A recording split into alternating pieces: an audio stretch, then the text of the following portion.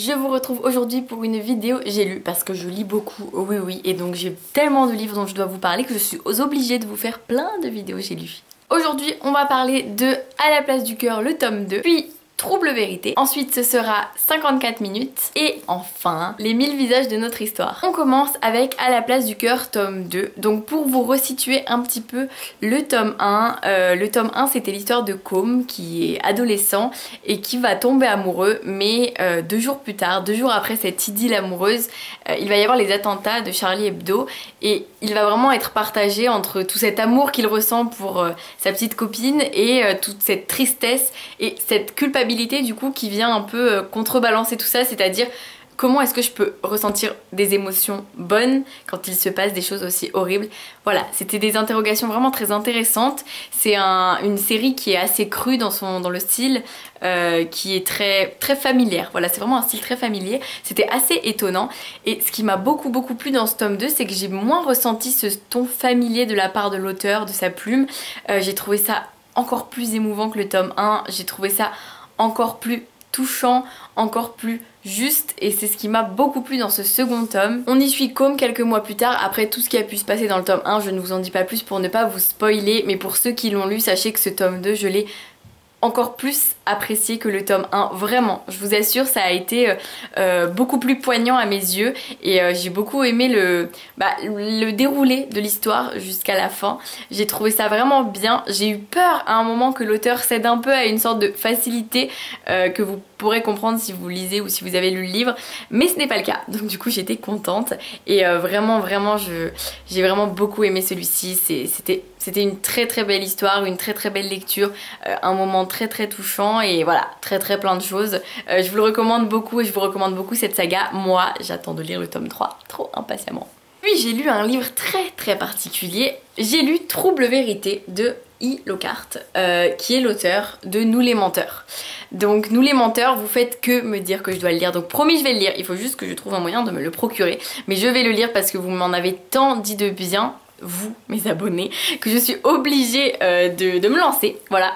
Mais je me suis dit c'est cool, je vais pouvoir me lancer via un autre livre, via son tout nouveau livre qui, je pense, est tout aussi chelou euh, que Nous les menteurs, voire plus, parce que vraiment Trouble Vérité, c'est un concept qui est assez dingue, mais que j'ai trouvé très bien mené. Pour tout vous dire, au tout début, j'étais assez dubitative. Vraiment, pendant la première moitié, j'étais hum, je sais pas, je sais pas. Puis finalement, j'ai trouvé que c'était vraiment du génie d'avoir réussi à, faire ça du début à la fin.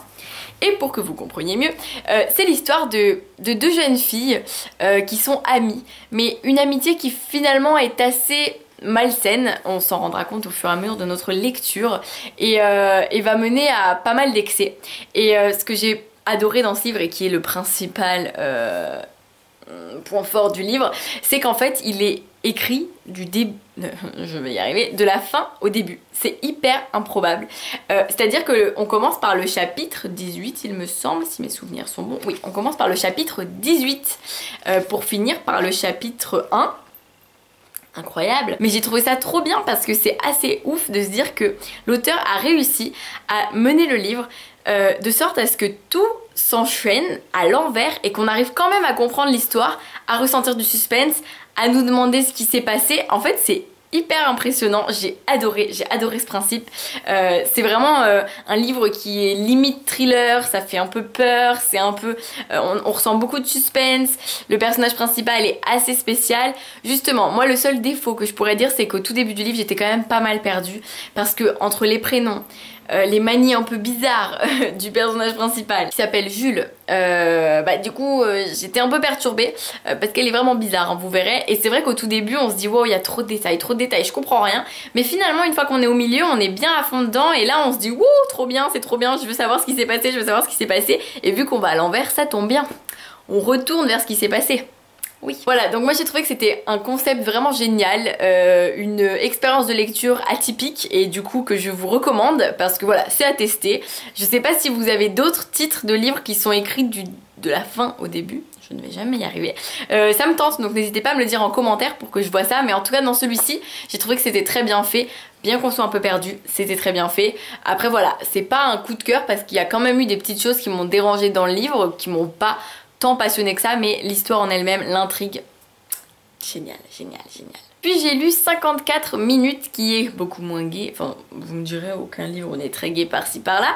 Mais celui-ci est vraiment pas très gai. C'est l'histoire d'une fusillade euh, dans un lycée. Une fusillade qui va durer exactement 54 minutes. Euh, et c'est très lourd à lire, très dur à lire. Mais en même temps assez nécessaire parce qu'on sait qu'aux États-Unis ça arrive. Euh, contrairement en France, heureusement. Mais, mais pas heureusement parce qu'en vérité ça devrait même pas arriver aux États-Unis. Mais bon, si ça arrive aux États-Unis, c'est quand même à cause de certaines choses, style le port d'armes, etc., qui est autorisé. Mais en l'occurrence, là, euh, n'est pas la question. La question c'est qu'on va vivre euh, cette fusillade avec des personnages, avec plusieurs personnages. J'ai beaucoup aimé parce qu'on a plein de points de vue. Donc de ceux qui sont en plein milieu de l'amphithéâtre où a lieu la fusillade et la prise d'otage des élèves, ou d'autres qui sont dans les couloirs en train de se cacher, ou d'autres qui sont devant les portes de l'amphithéâtre et qui pourraient peut-être les sauver, ou d'autres qui sont à l'extérieur qui ont entendu les coups de feu, ou d'autres qui sont chez eux.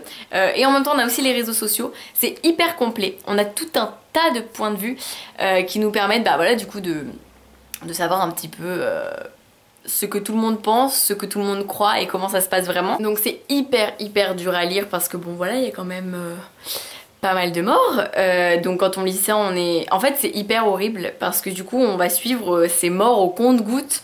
Euh, on va assister à ces scènes avec les personnages. Donc on est là, on se dit non, c'est pas possible. non, il va pas tirer, il va tirer, il va pas tirer. C'est hyper horrible. Et le plus intéressant, évidemment, c'est qu'on a aussi le point de vue de personnes qui sont très proches du tueur. Parce qu'évidemment, c'est un élève du lycée. donc qui ont vécu avec lui, qui ont vécu des histoires d'amour avec lui, qui sont de leur famille. Donc ça, j'ai trouvé ça hyper intéressant parce que du coup, on, a ces points de vue des personnes qui vivaient avec lui et qui ne comprennent pas, mais en même temps qui comprennent peut-être. Et voilà, c'était hyper intéressant. C'est une lecture que j'ai donc beaucoup aimée, euh, totalement différente de A-List, dans le même style si vous voulez un autre livre sur les fusillades. Ici, on est vraiment au cœur de l'action. Le style est pas franchement ouf après, enfin genre c'est hyper simple, hyper euh, linéaire quoi, on lit, enfin oui c'est logique que ce soit linéaire, enfin bref, euh, c'est hyper fluide, on lit et puis c'est bon quoi. Disons qu'il n'y a pas, enfin voilà, j'ai pas été transcendée par l'écriture, mais le sujet est important et donc c'est ça le plus important de cette histoire. Voilà, donc n'hésitez pas à me dire ce que vous en avez pensé, mais moi euh, ça a été dur à lire, mais, euh, j'ai trouvé ça quand même euh, intéressant et nécessaire. Et enfin, coup de cœur en vue, attention, attention, attention, Les 1000 visages de notre histoire de Jennifer Niven, qui est l'auteur de Tous nos jours parfaits, que vous avez presque tous lu ici. Je le sais, vous me le dites tout le temps, c'est vous qui m'avez forcé à lire Tous nos jours parfaits, sachez-le. Et donc quand j'ai reçu celui-ci, j'étais en mode oui, oui, oui, je suis trop contente parce que Tous nos jours parfaits m'avait beaucoup plu, bien que ayant été un peu spoilé. Euh, je ne l'avais pas autant aimé que ce à quoi j'aurais pu euh, penser. Euh, mais les mille visages de notre histoire, ça a été vraiment un énorme coup de cœur. J'ai trop trop aimé.